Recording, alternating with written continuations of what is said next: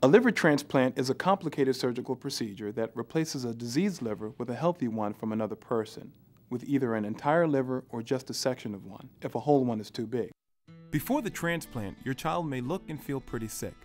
The young people featured in this video have received liver transplants and are feeling healthy and active.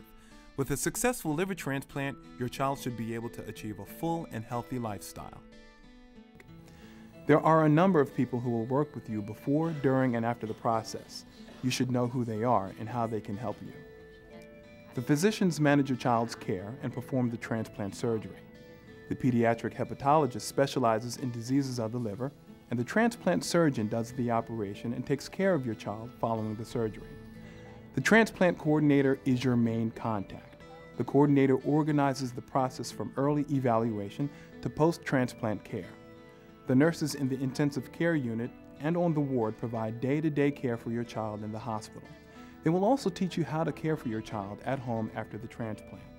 A nutritionist will help you with the best diet plan to make sure your child eats well, grows, and stays as healthy as possible.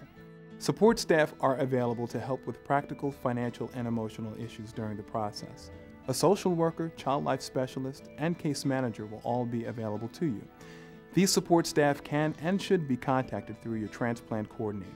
If you have questions or concerns, call your coordinator or consult our website at chop.edu slash liver transplant.